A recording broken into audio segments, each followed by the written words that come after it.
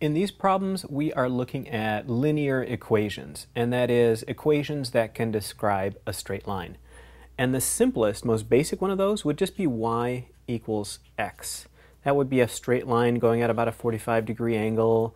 It would go through the origin on the graph. Its slope is 1, its y-intercept is 0. So that's the simplest equation of a line.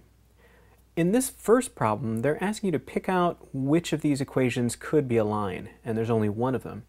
And the rule of thumb here is that the x needs to be just to the first power. So if you look at C down here, we have y equals 11x squared plus 5. Well, you should recognize that by now. That's a quadratic equation, so it's going to have that U shape, not a straight line. So basically, any power other than 1 is not going to work, is not going to create a straight line. So let's look at these one by one. We've got y equals 12 over 11x plus 5. And if you see the x down in the bottom of a fraction, what that really means is that the power is a negative 1. So in this case, the power is not 1, it's negative 1, so that is not going to be a line. Here we have y equals 11x plus 5 over 12. Now here the x is on the top of a fraction, and so that's just the power that it is. So that is x to the first power, and that looks like it would work, but let's check the, uh, the last one here. This one has y equals 11 twelfths x to the negative 1 plus 5. Aha, uh -huh, so x is to the negative 1 power. That's not 1. That's not going to work. So our correct answer here is this one. I know it can get a little confusing with the fractions, but x needs to be the first power.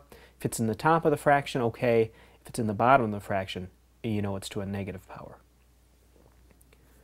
couple other things we want you to know about linear equations is that um, there are some standard forms. Well, there's one that's actually called the standard form, and then there's another one that's called the slope-intercept form, and, and that one is particularly useful. The standard form goes like this. You have some number, I'll call it big A, multiplied by the x, and this is on the left side of the equation. You have uh, another number, I'll call it big B, multiplied by y, also on the left side of the equation. Then your equal sign, and then whatever other number you have over here.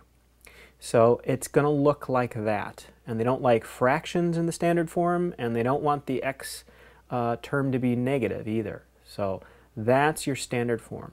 Let's see what we've got uh, in our answer choices here. They, they want us to uh, determine which one of these is in standard form.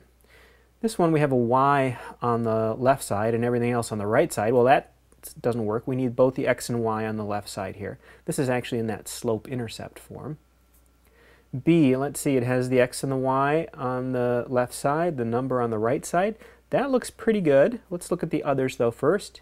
In C, we just have the x on the left side. That's not going to work. I need both the x and the y on the left side. Here we have x and y on the left side, uh, but we also have the number on the left side. And in the standard form, number needs to be on the right side. So it looks like B is our correct answer. That's standard form. And then the last one here uh, has slope-intercept form. And this one I think is particularly useful because it gives you the slope and it gives you the y-intercept. And you get a, an equation into this form by solving for y. So y is going to be over on the left side all by itself. There'll be some number, we usually call it m, and that's the slope that's multiplied by the x uh, term. And then whatever number you have here, and we usually call it b in this form, but that represents the y-intercept. So y equals mx plus b. So let's see which one of these fits there. Here we have the x and the y on the left and a number on the right. Well, that's standard form, so that's not going to work.